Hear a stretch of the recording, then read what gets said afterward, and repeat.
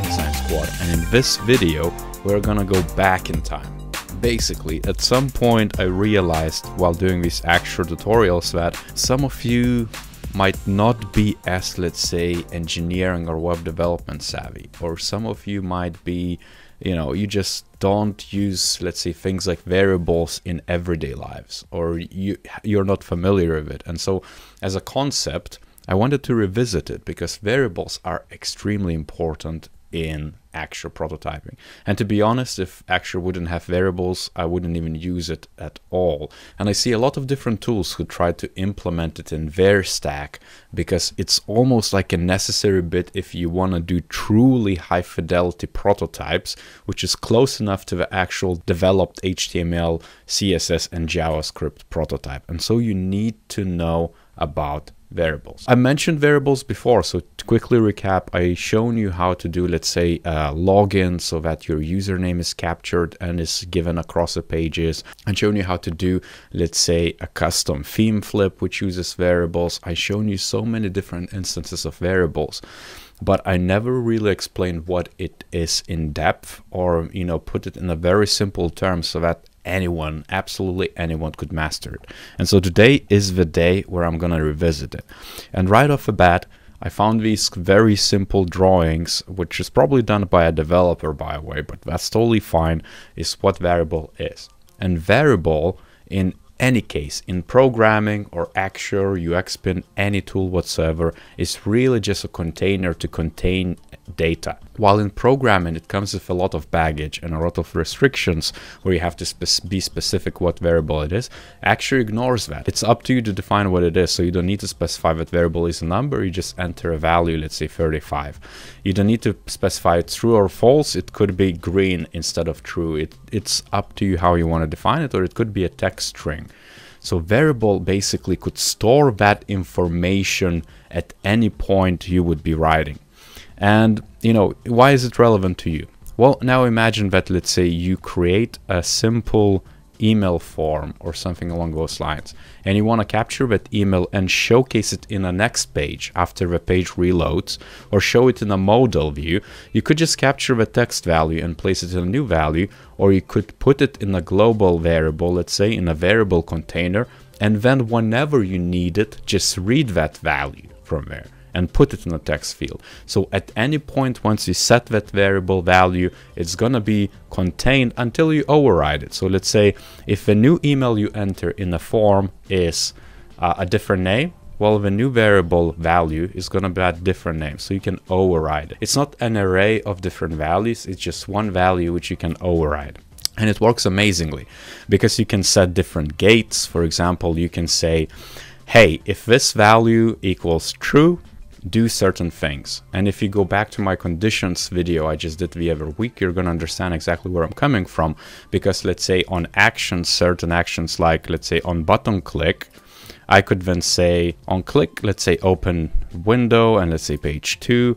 And then I can add a case and say add logic and say if value of variable, which I haven't created, but let me just add a new one. Let's say is container one and by default is let's say is empty. If I say it equals value I don't know true then just open that next window. So I read the value of that global variable and check if it's one or the other. And at any point I can also change it.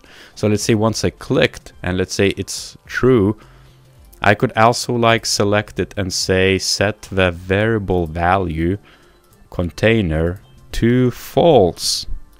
And now once I click it, it was true for, for example, for whatever reason. Now it would set it to false and it wouldn't work anymore because I would create and close the loop. I set the new value to a variable and if it's not true, let's say, it wouldn't just wouldn't read it. So that way you can create a loop, but basic understanding of a variables is that it's a container for you to store information. It's not just a repeater, it's a variable which you can reuse at any point in your prototypes. That's the best bit. Now, another bit about variables is that there are two types of variables in Axure. One is a global variable, one is a local variable. Local variable is stored in one page only. It's stored in one function it's not exchanged across different pages or different functions, let's say. And I'll show you in a minute what I mean.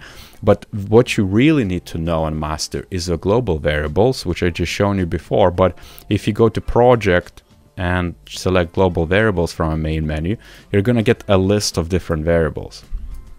And it could be that you're creating a form where user registers, let's say, and you need to capture email. So you could call a new variable email.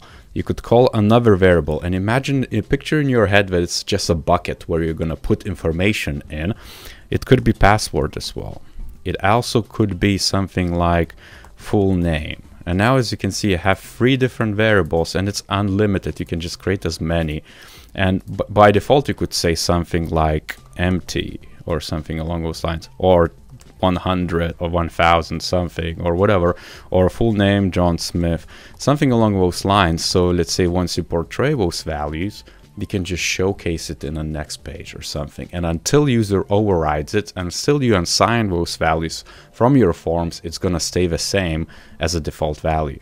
And let me actually demonstrate it real quick. So I created these three values and if I create, let's say, three different text fields, and I'm gonna call it T1, let's say, T2, and I say new interaction on page loaded, I'm gonna set text values of these fields with the values of our variables. So I would just set to value of a variable, and let's say this is gonna be email for the first one. And then I can also add another target, so another text field, set it to value of variable and set it to, let's say, password.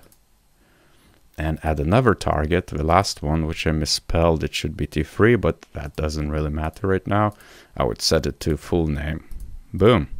So whenever I load page, I'm going to read those values and then display it here. And you can just imagine. Now imagine that this is my second page, one of the last pages. And in the first page, I'm going to create a form where I, I'm going to actually say, when you click on it, save whatever is an input field into variable 1, save to variable 2, variable 3, and so forth. And so it's going to override it.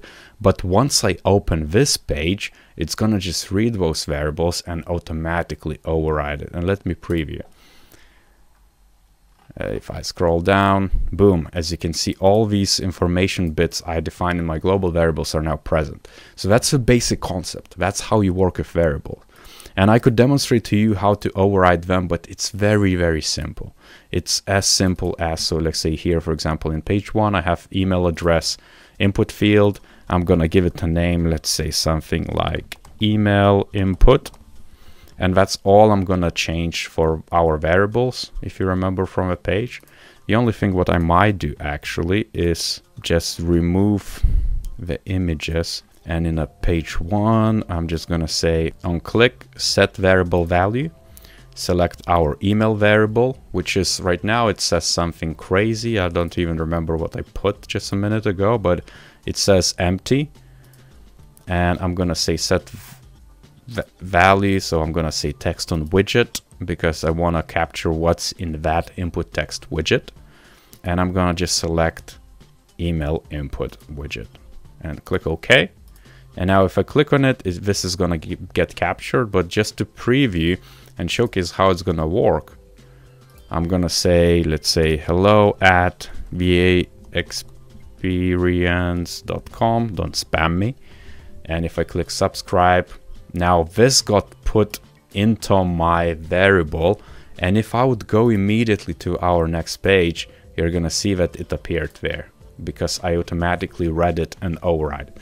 That's the easiest use case. That's how global variables work and that's how they are so fantastic and amazing. And sorry to swear, but it's that exciting because to be entirely honest, if not for that, like why would you even use high fidelity prototyping tools, right? And so that's global variables. Now local variables are a bit more complex, but they're not too complicated. If you remember from my previous videos, you can access them by just clicking, let's say, on an action point, and maybe it's in that click or tap event I just created before. I could edit it and I could say, for example, value, because I don't have to specify. I could, of course, specify that value of variable, length of variable, text on widget. You can play with these options and experiment as if you have time. I strongly advise you to do so. If you want to access local variables, it's good to play around with a value thing because that's where you are going to then, you know, Axure doesn't know what value is in this case. It could be that you just say zero and you're going to set that email value to zero, but that's what not what we're after. We want complicated value. And in that case, I'm going to click on function. And here is where we're going to access our local variables. At the simplest terms, local variables, again, are just going to be accessed within this function. So I'm not going to be able to read it outside on a different page or check it up anywhere else but here. Well, you might ask why to use it then. Well, it still acts as a container within this function because you can then specify exactly what it means. And just let me show you what I mean. So I can add a local variable, let's say lvar1, or I could just call it like local email variable, let's say local email var. And I can say text on widget or anything else, again, experiment with it. But really quickly, it would be text on widget and I could select, let's say email input and now I declared the variable value. So I put whatever is in that our email input into the bucket of local email var and all I have to do here is say local email var. So for example, if I declare our value like this, as you can see up above, there is uh, exactly how you need to type it. And I say divided by 2, then if imagine that this is 20 divided by 2, it would return a 10 and on click on tab it would set variable value to 10 simple as that. But let me just show you that it works without the 10 so it's just local variable. Click OK. As you can see you can edit it here too if you want to. Remember the syntax of brackets so it's really important.